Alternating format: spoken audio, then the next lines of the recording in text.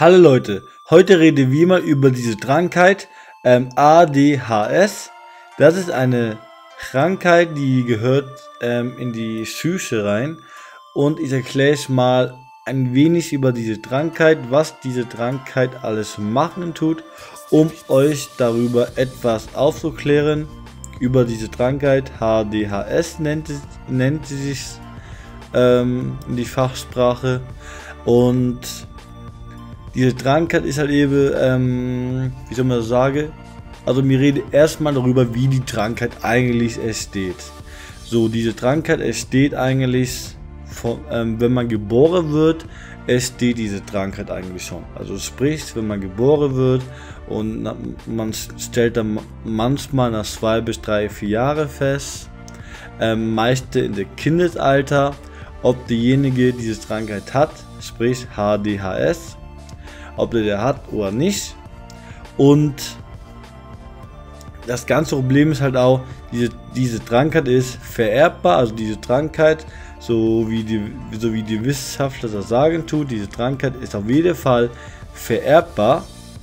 Und jetzt sage ich noch, was diese Krankheit alles machen tut. Sprich, mit dieser Krankheit ist das Kind sehr, sehr hyperaktiv, und macht meistens nur Blödsinn, hat Probleme mit Kontakte und sonstiges halt. Und die Kinder stellen sich meist ähm, sehr schnell nach, also sehr schnell fest, dass die ähm, durch die Krankheit über einen Außerseiter werde, zum Beispiel durch diese Hyperaktivität.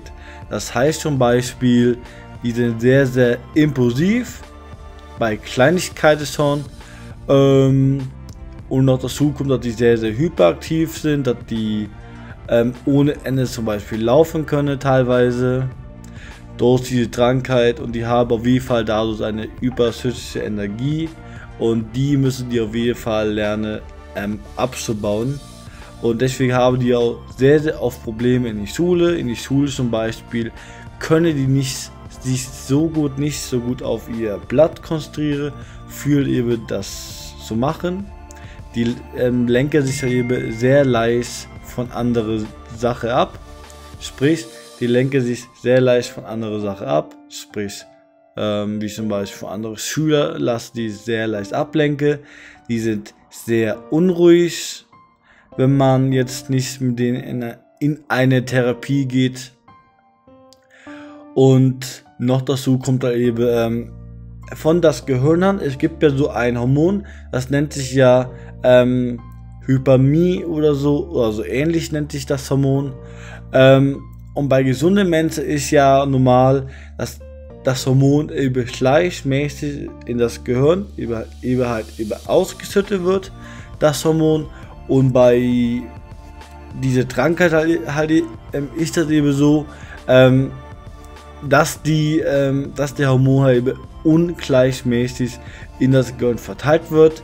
Und das hat zur Ursache, dass die sehr, sehr hyperaktiv sind und sich zum Beispiel nicht so gut konzentrieren kann.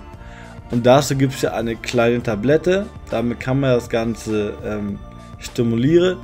Diese Tablette macht eigentlich nur, weil die Tablette gehört ja zu das Täubungsmittel ähm, sprich, wenn man das einnehmen tut, ähm, das ist so, ob dein Gehirn dann, sag ich mal, betäubt ist.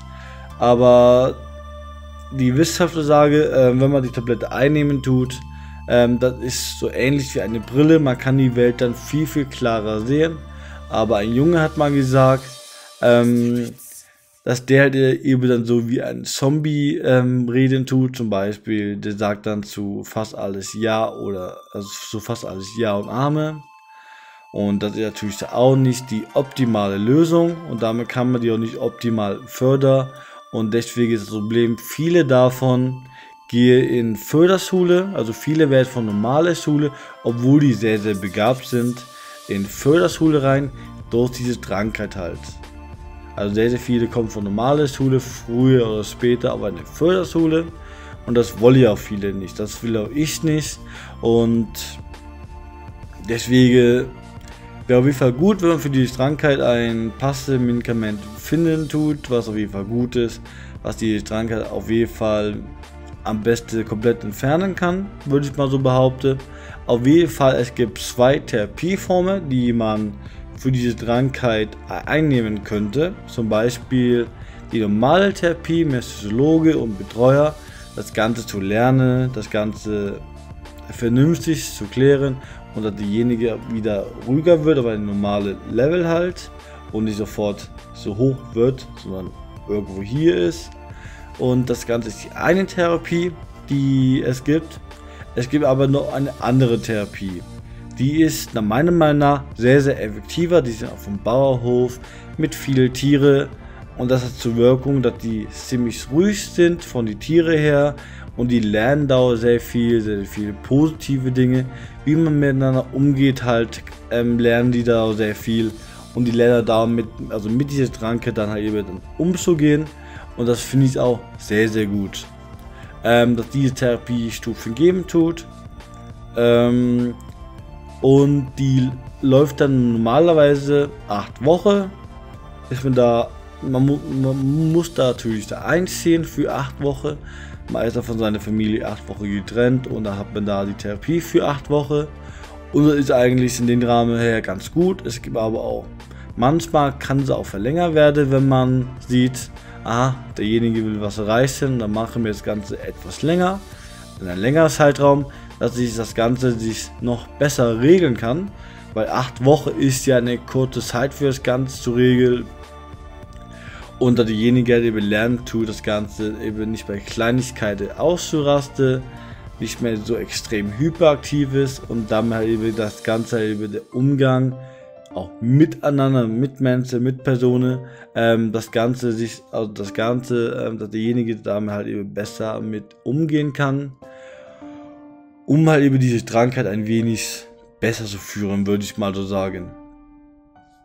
Auf jeden Fall, das war das Video über diese Krankheit hier. Und wenn ihr noch irgendwelche Fragen habt, könnt ihr die sehr gerne in die Kommentare stellen.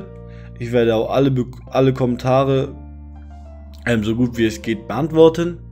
Und wenn ihr noch irgendeinen Themenvorschlag habt über oder ihr wollt gerne ein Thema haben für irgendein Video, ähm, könnt ihr es gerne in die Kommentare gerne reinschreiben. Dann nehme ich das Thema auch sehr gerne mit rein, wenn das passt, von meinem Kanal her. Und dann sage ich mal, wir sehen uns das nächste Mal. Ihr könnt einen Daumen hoch geben und kommentieren, wenn ihr wollt. Und dann sage ich mal, bis zum nächsten Mal, Leute, und haut rein.